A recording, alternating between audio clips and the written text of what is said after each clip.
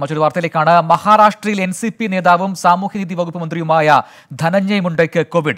മുണ്ടയുടെ personal സ്റ്റാഫിലെ ആറ് പേർക്കും രോഗം സ്ഥിരീകരിച്ചു. സംസ്ഥാനത്ത് രോഗം സ്ഥിരീകരിക്കുന്ന മൂന്നാമത്തെ മന്ത്രിയാണ്. ഇദ്ദേഹം നിതിൻ അംബുജൻ നൽകും കൂടുതൽ വിശദാംശങ്ങൾ. നിതിൻ മഹാരാഷ്ട്രയിൽ അറിയാം കൂടുതൽ സങ്കീർണമാണ് കാര്യങ്ങൾ. ഇപ്പോൾ മറ്റൊരു മന്ത്രിക്ക് കൂടി മൂന്നാമതൊരു മന്ത്രിക്ക് കൂടി കോവിഡ് പടരുന്ന സാഹചര്യം കൂടി വന്നിരിക്കുന്നു. വിശദാംശങ്ങൾ.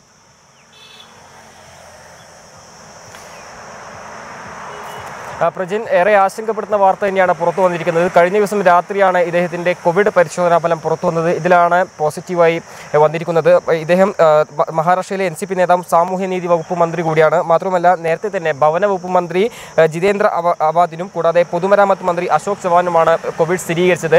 ഇവരെ ഈ രണ്ട് മന്ത്രിമാരൊക്കെ തന്നെ ആശുപത്രി വിട്ടു കഴിഞ്ഞു. നിലവിൽ ഇപ്പോൾ ആ, ധനഞ്ജയ മുണ്ട ഇപ്പോൾ മുംബൈയിലെ സ്വകാര്യ ആശുപത്രിയിൽ ചികിത്സയിലാണ്.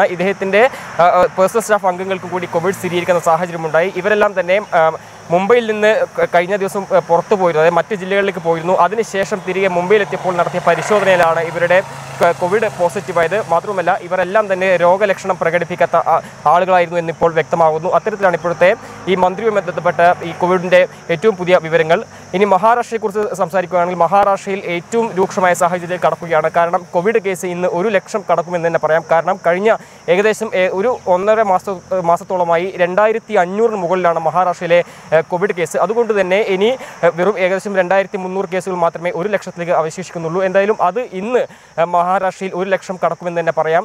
കഴിഞ്ഞ ദിവസം റിപ്പോർട്ട് ചെയ്ത മൂവായിരത്തി അറുന്നൂറോളം കേസുകളാണ് സംസ്ഥാനത്ത് ഇതുവരെ റിപ്പോർട്ട് ചെയ്തതിൽ ഏറ്റവും ഉയർന്ന കോവിഡ് കേസുകൾ. മാത്രവുമല്ല മരണസംഖ്യയും സമാനമായ രീതിയിൽ തന്നെ ഏറ്റവും ഉയർന്ന തരത്തിലാണ് റെക്കോർഡ് ചെയ്തത്. നൂറ്റി അൻപത്തിരണ്ട് മരണമാണ് കഴിഞ്ഞ ഇരുപത്തിനാല് മണിക്കൂറിനിടെ ഉണ്ടായത്. മുംബൈയെ മാറ്റി നിർത്തിയാൽ താനെയാണ് മറ്റൊരു ഏറ്റവും പ്രധാനപ്പെട്ട ആശങ്ക നിറഞ്ഞ മേഖല. താനേക്ക് താനെ കഴിഞ്ഞ പൂനെ. അത്തരത്തിൽ ഈ മൂന്ന് നഗരങ്ങളായിരുന്നു നേരത്തെ കോവിഡിലെ ആശങ്ക നിറഞ്ഞെങ്കിൽ ഇപ്പോൾ മഹാരാഷ്ട്രയിലെ മറ്റ് ജില്ലകളിലേക്കും ഈ കോവിഡിന്റെ രോഗവ്യാപനം വർദ്ധിക്കുന്നത് ആശങ്ക സൃഷ്ടിക്കുന്ന ഒരു കാര്യമാണ്. പ്രത്യേകിച്ചും ഈ നാഗ്പൂർ അടക്കമുള്ള മേഖലകളിൽ അത്തരത്തിൽ ഔറംഗാബാദ് അടക്കമുള്ള ജില്ലകളൊക്കെ തന്നെ ഈ കോവിഡ് കേസ് രൂക്ഷമായി വർദ്ധിക്കുന്നുണ്ട്. ഇത് തന്നെയാണ് മഹാരാഷ്ട്ര സംബന്ധിച്ച് ഏറ്റവും ആശങ്ക നിറഞ്ഞൊരു കാര്യം. അതേസമയം ഒരു പ്രധാനപ്പെട്ട ആശ്വാസകരമായ ഒരു വാർത്ത ഇന്നലെയും ധാരാവിയിൽ ഇരുപത് പേർക്ക് മാത്രമേ രോഗം സ്ഥിരീകരിച്ചുള്ളൂ. എന്നാൽ രണ്ട് മരണം റിപ്പോർട്ട് ചെയ്തിരുന്നു. കഴിഞ്ഞ ഏകദേശം മഹാരാഷ്ട്രയിൽ സ്ഥിതി സങ്കീർണമെന്നാണ് നിതിൻ അംബുജൻ റിപ്പോർട്ട് ചെയ്യുന്നത്. മഹാരാഷ്ട്രയിലെ മന്ത്രി ധനഞ്ജയ് മുണ്ടയ്ക്കും കോവിഡ് ബാധിച്ചിരിക്കുന്നത് മറ്റൊരു വാർത്തയാണ്.